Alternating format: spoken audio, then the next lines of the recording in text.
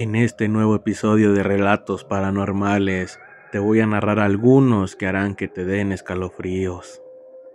Y si estás solo, harán que te sientas acompañado. Sin más que decir, comenzamos.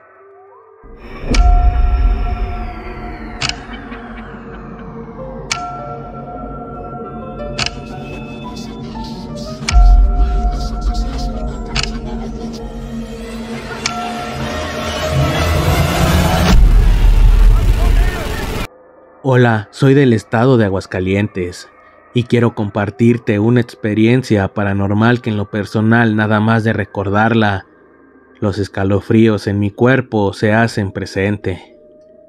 Fui trabajador del INEGI. Mi función era ser vigilante.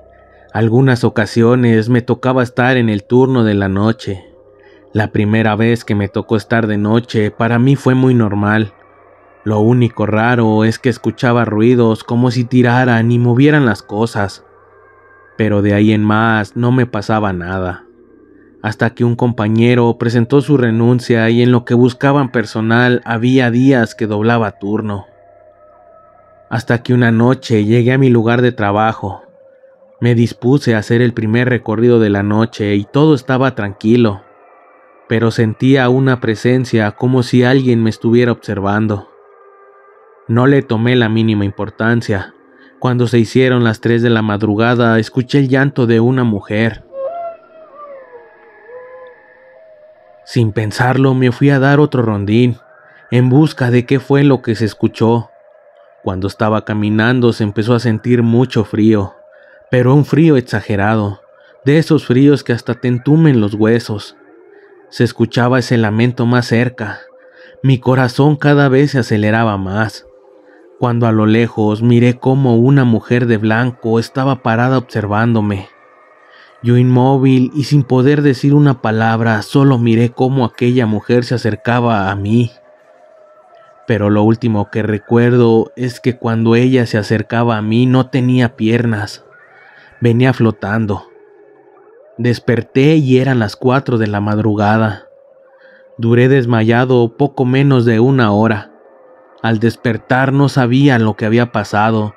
Pensé que había sido un sueño, pero al caminar miré mi camisa rasgada y en mi piel unos profundos rasguños. Ahí supe que lo que había mirado no había sido un sueño. Al día siguiente fui a presentar mi renuncia. La chica de recursos humanos me preguntó por qué motivo quería renunciar. Al platicarle lo sucedido se quedó seria me dijo que casi todos los empleados que han renunciado le platican lo mismo que yo. Soy del municipio de Jesús María. Quiero contarte un relato que tal vez a ti y a todos los que te escuchan les va a gustar mucho. Fue una experiencia paranormal vivida por mí muy fuerte. Debo de confesar que me costó mucho aprender a vivir con esto. Mi historia comienza cuando entré a trabajar a un bar no diré el nombre de dicho bar por discreción, pero es muy reconocido en el municipio. Ese día recuerdo que no tenía ganas de estar en ese lugar. Me sentía muy cansado y triste hasta que llegó una mujer muy hermosa a la barra donde me encontraba yo. De inmediato llamó mi atención, ya que su belleza era muy deslumbrante. Me pidió un trago y se sentó y me sacó plática. Duramos así como cuatro horas platicando y coqueteando mutuamente. Yo no me creía el tipo de mujer que me estaba ligando. Yo muy emocionado me ofrecía llevarla a su domicilio. Cabe mencionar que ese día salía a las doce de la madrugada. Ella con una sonrisa aceptó. Antes de llevarla a su casa pasamos a cenar y entre pláticas y muchas risas se dio nuestro primer beso. Yo estaba muy emocionado, pues sentí que había encontrado el amor verdadero. En el transcurso del camino ella me dijo que tenía frío. Yo caballerosamente presté mi chamarra y se la coloqué sobre sus hombros. Ella me señaló el domicilio donde vivía.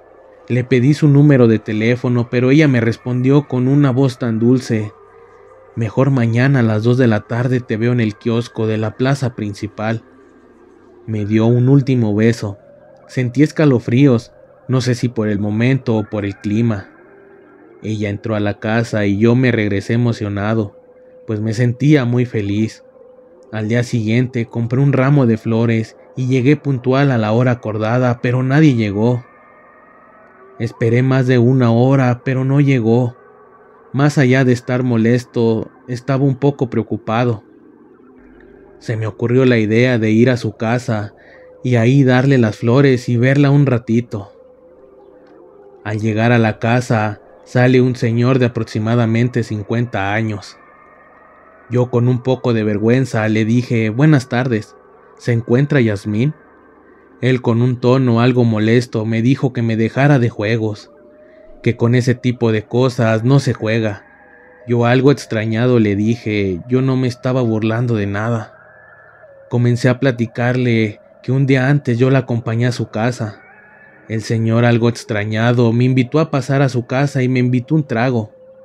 Y al contarle la historia de cómo nos conocimos, el señor rompió en llanto.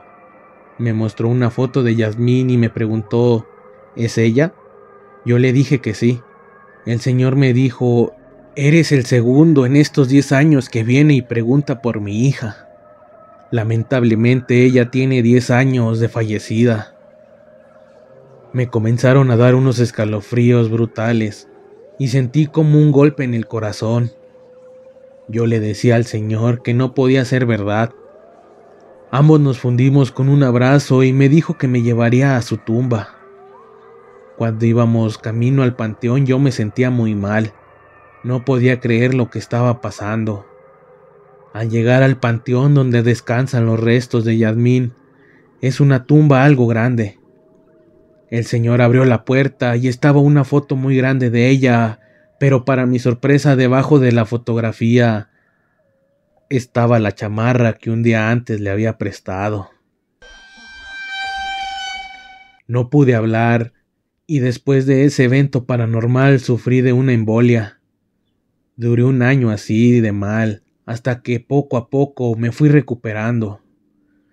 Muchos dicen que la embolia me dio por tal impresión pero cada 2 de noviembre voy y le llevo flores y a veces la sueño y cuando eso me pasa me siento feliz porque sé que aunque ella ya está muerta, aún me sigue visitando.